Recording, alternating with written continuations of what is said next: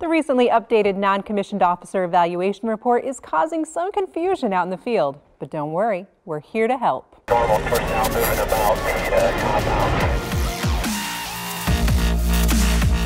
Hi, and welcome to SITREP, Army news that affects you.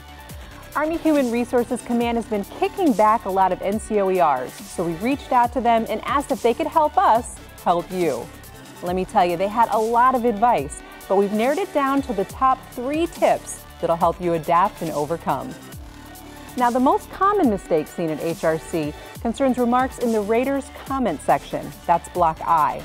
Old habits are prevailing here as leaders are recommending future schools or promotions, but that's the old way. This space is now for leaders to rate current performance only over the current rating period. Another common mistake is the order that everyone signs the NCOER.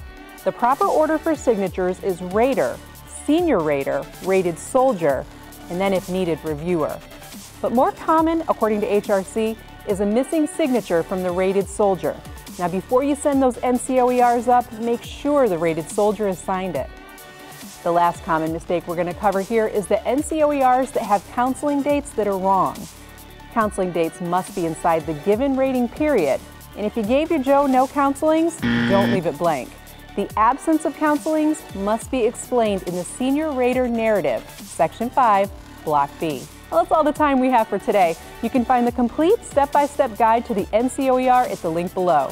And as always, if you have questions or topic ideas for SITREP, let us know on Facebook or Twitter. Sergeant Martin, signing off. Mission number one.